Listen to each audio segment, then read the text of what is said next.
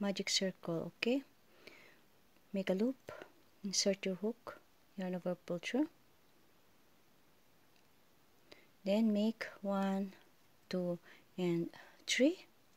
Okay single crochet within uh, double crochet within the loop okay? You make 16 stitches in all total including the chain 3 okay? So the chain 3 is counted as uh, double crochet okay so continue doing until you have 16 stitches in the round.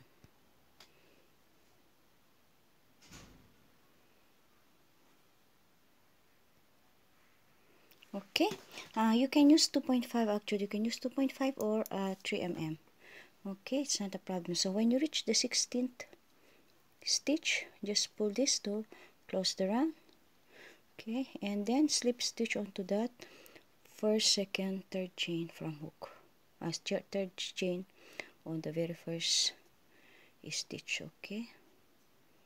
See?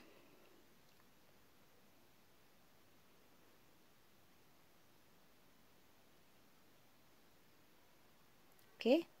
So we've done uh, with this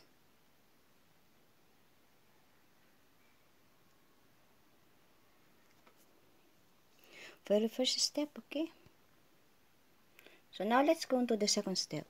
The second step will be chain three. Okay one two three. Plus chain two. One two. That will be the loop okay the double crochet will be one two three and chain two. So we have five chain five here.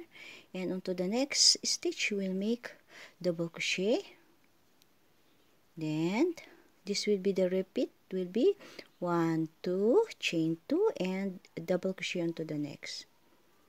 Okay? So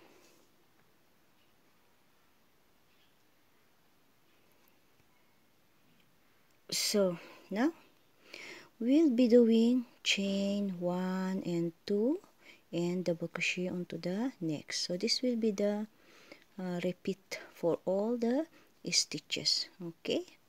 Make it until the last last stitch and I'll see you there.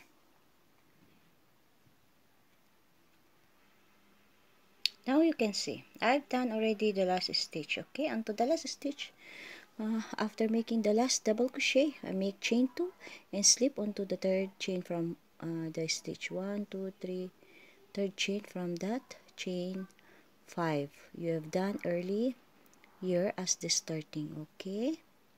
So we have total of 16 sets. Okay make a slip stitch in there. Sorry for that. Make a slip stitch in there on the third chain. Okay so it will be like this. Okay